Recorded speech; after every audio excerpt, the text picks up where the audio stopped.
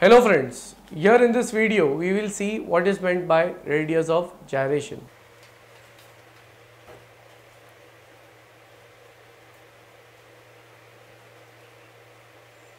The next definition.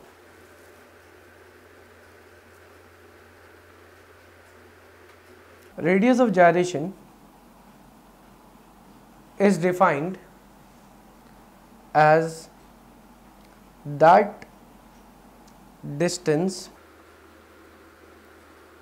from a given axis up to a point where the entire area is assumed to be concentrated. So here I have written the definition of radius of gyration that it is defined as that distance from a given axis up to a point where the entire area is assumed to be concentrated. To understand this in a better manner we require a diagram.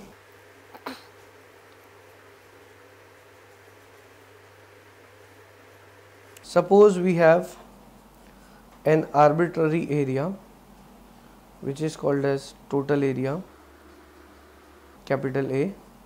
Now within this total area if we have small areas like I am assuming here three areas A1, A2 and A3 now when I see their distances A1, A2 and A3. So I'll mark their distances. The distance of A1 with respect to x axis this will be y1 distance of A2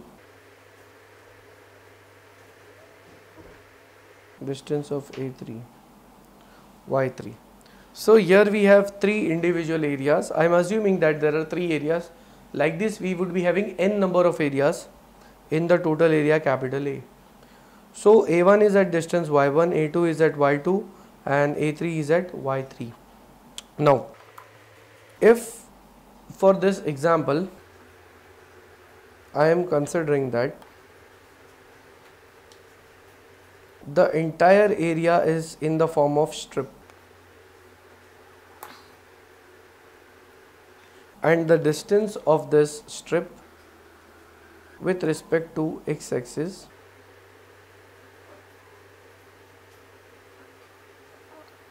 this is k. So now here if the total area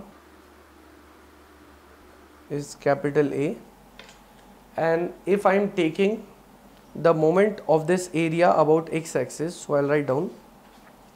Therefore moment of area about x axis is given by Ixx is equal to the moment is area into distance. So I am taking the moment of area area into distance. Now again taking the moment of area about x-axis now if I am taking the moment second time it becomes Ixx is equal to a into that distance will become distance square. So Ixx is equal to ak square.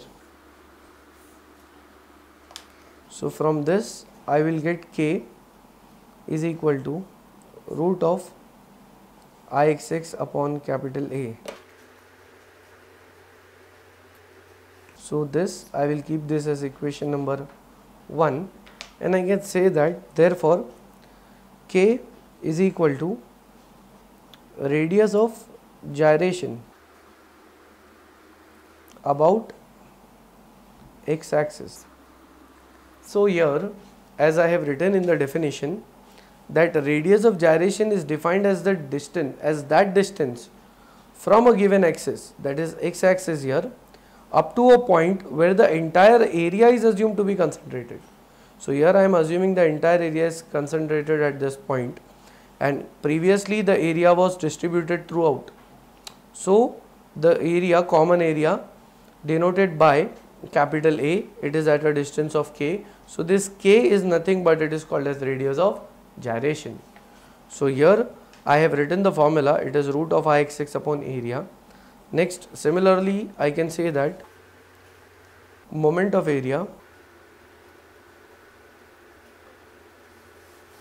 about y-axis is given by Iyy is equal to area into k and similarly for that I'll say that therefore again taking the moment of area about y axis for that also I need to have a diagram where I can explain it.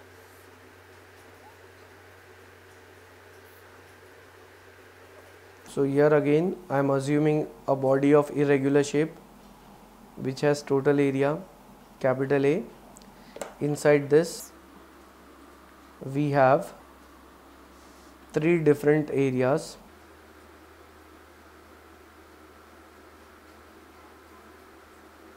now I'll say that this is area 1, area 2 and area 3. They are distances with respect to y-axis. The first distance is of area 1 that is here I have this is of area 2 so x2 for area 1 it is area 1 I'll denote it as area 1 so here I have x1 this is area 2 so x2 and here I have x3 now similarly I can assume that this total area is in the form of a strip. And that total area with respect to y-axis its distance we will call that as k. So now when I'm again taking the moment of area about the y-axis by taking distance x that will become Iyy is equal to a into it was k so it becomes k square so now from this I can say that therefore k is equal to root of Iyy upon area. So previously in equation number 1 I had got the radius of gyration about x axis. Now I'll keep this as equation number 2 and where k is equal to radius of gyration about y axis and its unit. Since it is radius its unit will be either in terms of mm it can be in terms of centimeter or it can be in terms of meter so here in this video we have seen the definition and concept behind radius of gyration